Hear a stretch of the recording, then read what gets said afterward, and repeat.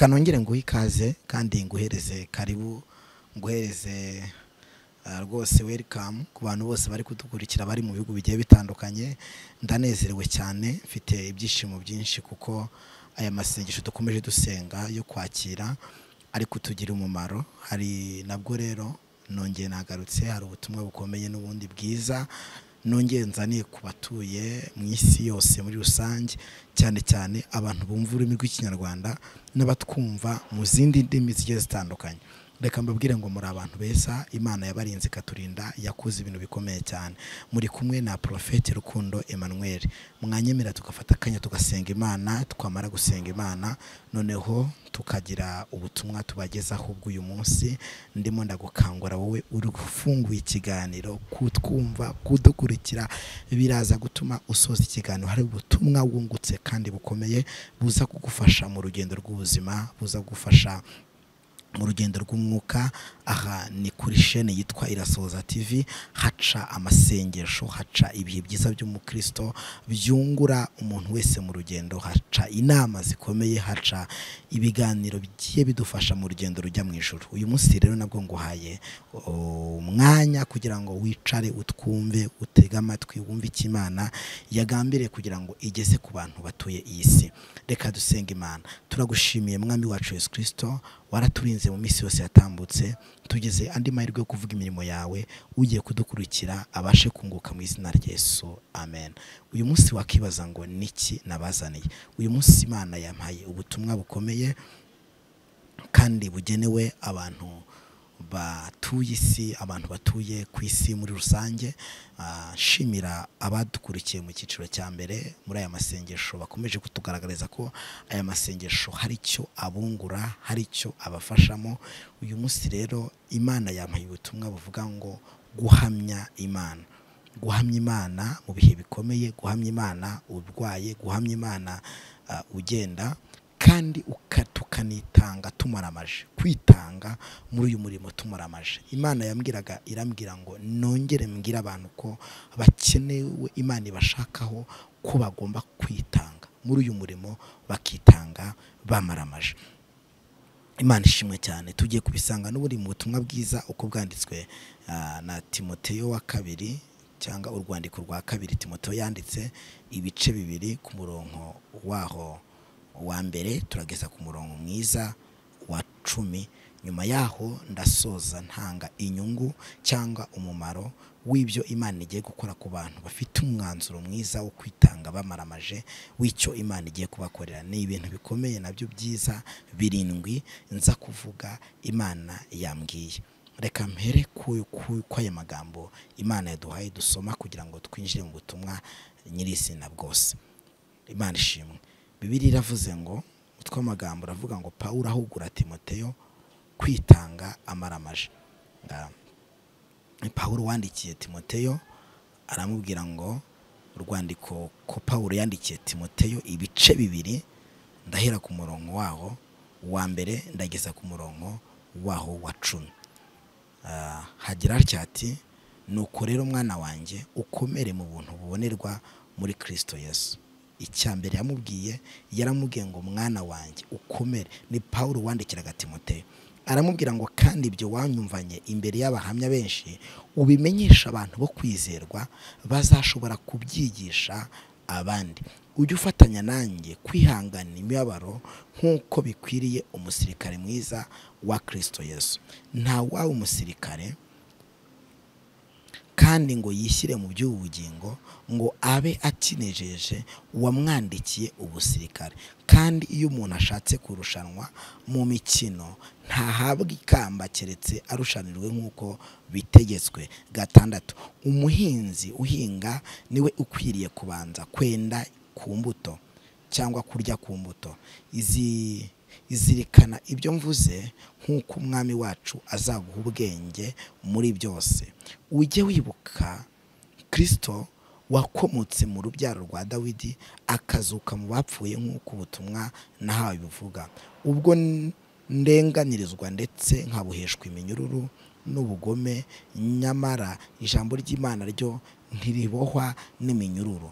Nicyo gituma nihanganira byose ku bw'intore z'imana kugira ngo na zo zibone agakiza kabonerwa muri kirisito yesu gafatanyijwe n'ubwiza buhoraho imana ishimwe cyane. Paul yandikira timoteyo y'uru rwandiko aramubwira ngo yewe paul mwana wanjye. Yewe timoteyo mwana wanjye nako. Paul n'uwandikiraga timoteyo. Aramubwira ngo nuko rero umwana wanjye ukomereye mu buntu bubonerwa muri kirisito yesu.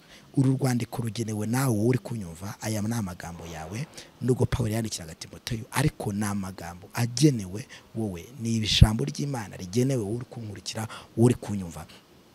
Ijambo riratubwiye ngo cyane cyane kuri murongo wa munani habivuze harabisobanura ngo ujye wibuka yesu kirisito wakomotse mu rubyaro rwa dawidi akazuka mu bapfuye. Nk'uko ubutumwa nahawe buvuga ngo ujye ufatanya nanjye kwihanganira imibabaro. Icya mbere imana irongera akagushaka ukwihangana. Harimo gukomera mu buntu. Imana imbwira ngo irashaka ko abantu bayihamya. Guhamya imana bya nyabyo ni ugukomera mu byo wizeye. Gukomerera mu mwami wacu Yesu kirisito gukomerera mu kwirinda ibyaha. Gukomerera mu kuvuga yesu. Yesu yakuntumyeho. Yambwiye ngo aho hantu utuye arashaka gukomera mu byo kwizera. Arashaka gukomera mu gufasha imfubyi arashaka gukomera mu gusenga imana arashaka gukomera mu kuririmba arashaka gukomera mu kubana nawe arashaka gukomera mu bihe byiza ugenda ugirana n'imana. Bibiri iravuze ngo nta waba umusirikare ajye mu by'ubugingo aba akinejeje uwamwandikiye iby'ubusirikare. Kuba umusirikare wa kirisito ugomba no gukomera. Mumenye ko turi abasirikare ba kirisito mumenye ko turi ababasaderi b'imana. Abantu benshi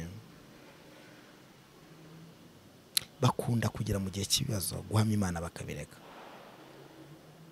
Ariko ndagukangurira inshuti yanjye wari kunyumva kondisiyo zose urimo cyangwa uko ubayeho kose hamya imana. Imana yambwiye ko hari imigisha y'abera igiye gufungura irindwi ariyo ngiye kubasomera ku bantu bafite umutima wo guhamya imana.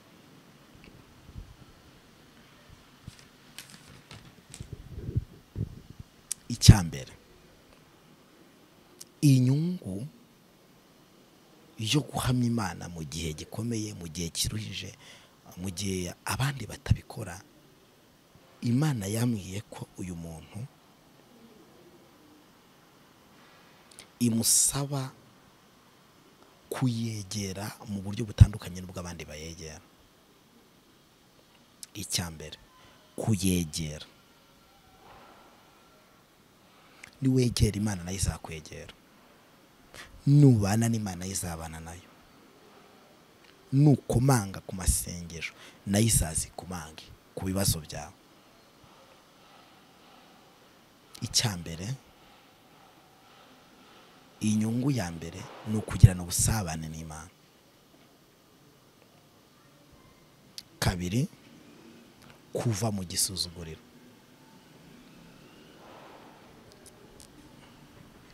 Abantu bahamya imana ikintu cya mbere imana izakora izajya ibegera igendane nabo ariko na yo ihita ikora ikintu gikomeye. Kuva mu gisuzuguriro. Gatatu gutumbagizwa n'imana. Kane kwinjira mu masezerano yawe. Ikintu imana izakora cya kane ni uko uzinjira mu masezerano yawe. Gatanu ni ugutera imbere mu buryo bw'umwuka. Indi nyungu ikintu imana izakora yambwiye ko izakuzamura mu buryo bw'umwuka cyangwa izaguteza intambwe cyangwa gutezwa intambwe. Sava. Imana izahita iguteza intambwe mu buryo bw'umwuka. Iyo uyubashye ukayegera imana izaguteza intambwe. Ikindi imana izakora ni uko imana izagukingurira amarembo y'umugisha. Imana mbwenge izagufungurira amarembo y'umugisha. Urashaka ko imana igufungura amarembo y'umugisha? Yihamye no mu gihe urimo cyose. Mu mibereho yawe urimo vuga imbaraga z'imana. Komera hereza abandi ubuhamya ubwire abantu kugira neza kw'imana. Imana yakugiriye neza ariko warabyibagiwe ntabwo kiyihamya imana hari byinshi yagiye gukorera ariko uyu munsi ntabwo kiyihamya ngo utumweho. Yesu yambwiye ngo arashaka ko umuhamya. Yesu yambwiye ngo arashaka ko umwegera. Yesu yambwiye ngo arashaka ko ugirana ubusabane nawe akagira ibintu agukorera. Karindwi ni uko imana izaguhisha ibyago bikomeye. Imana nambwiye ngo indi nyungu ikomeye izagaragara mu bantu bari kwihamya ni uguhishwa ni uguhishwa. Ibyago iyo ufitanye konekisiyo n'imana habonekamo inyungu ikomeye yo guhishwa ibyago bikomeye. Imana ikaguhisha ibyago bikomeye. Imana iguhisha ibyago bikomeye. Imana iguhisha intambara zikomeye. Uca mu byatuma upfa ariko ntupfe uca mu byatuma utaganga ariko ntutagangane. Uca mu byatuma urira ariko nturire. Uca mu byatuma umubiri wawe uhungabana ariko ntugire ihungabana. Imana ikugirire neza cyane. Andi magambo nakongeraho ni uko usohoka habi. Imana igusohora mu bibi ukinjira mu bishya. Imana igusohora mu mateka mabi ukinjira mu bishya. Imana ishimwe cyane. Ikindi wakira umugisha wawe.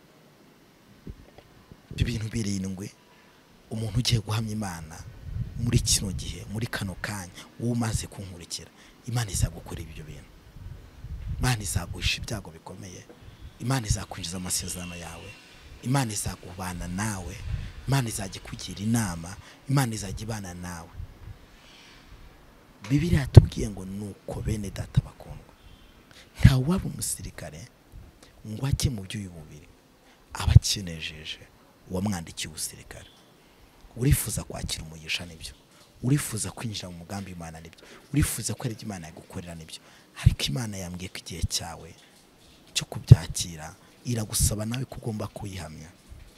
Yihamye hamya kirisito hamya kirisito mu mibereho yawe. Azakugirira neza azabana nawe. Ntabwo azakureka. Azajya akuramiza ukuboko kw'iburyo. Imana ishimwe. Azajya akugirira neza. Ntabwo ateze kuzakureka. Reka nsengane nawe. Cyane ko turi mu bihe byiza by'amasengesho. Abaduhaye ibyifuzo abakomeje kubana natwe muri aya masengesho yo kwakira wizere ko hari ibintu ugiye kwakira. Wizere ko imana igiye kugukuza wizere ko imana igiye kubana nawe. Wizere ko hari imbaraga imana igiye kukohereza imana irabikoze inshuti yanjye. Gihamye wakira umwuka wera. Imana ikwinjize mu masezerano yawe. Imana ifungure amarembo y'umugisha. Imana ifungure ibyawe. Imana ifungure muri aka kanya turimo turasengana. Imana ifungure imana ifungure. Ndagusenge ngo imana ifungure ibyawe. Uhereye aka kanya imana ifungure umugisha wawe. Uhereye aka kanya imana ifungure iterambere ryawe. Uhereye aka kanya imana ifungure ibyo wa imana yagiye gusezeranya ibyo imana yagiye ivugana nawe ibyo imana yagiye gusezeranya byose imana ifungure. Mu izina rya yesu. Mana data twese mu ijoro nsengeye uyu muntu nkurikiye. Nsengeye uyu mwana muto nkurikiye. Mu izina rya yesu. Muri aya masengesho yo kwakira. Ndamusengeye kugira ngo yakire ibye satani yari yarariganyije.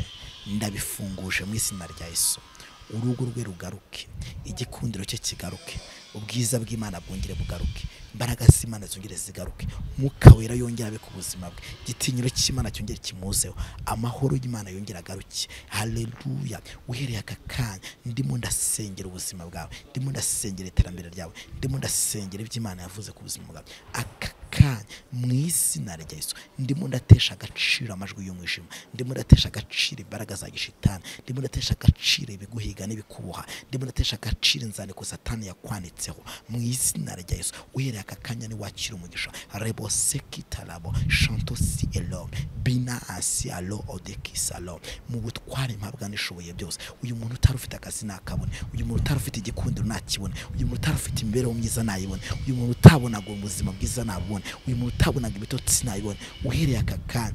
Winjire mu gishawe. Wakira ibyawe. Akira ibyawe. Akira amahoro. Akira umudendezo. Akira umutekano. Akira guseka. Akira kubona imana. Akira amahoro. Akira. Kuko imana ifunguye amarembo y'umugisha. Imana ifunguye amarembo y'umugisha. Imana igukuze mu mwuka. Imana ikugirire neza. Imana ikwagurire imbago. Imana ize mu ruhande rwawe mu izina rya Yesu. Amen. Imana igane nanjye ngo akira ibyawe wari waraganyijwe akira umugisha wari waraganyijwe akira igikundiro waraganyijwe akira imbaraga wari satani yarakujyanye akira amahoro wari warabuze akira ibyiringiro warabuze akira umutekano akira kuzuzwa imbaraga akira ibiganza byiza byawe byongere bibone imbaraga byongere bibone umugisha byongere byakire amafaranga byongere byakire iterambere uhereye umunsi wa none.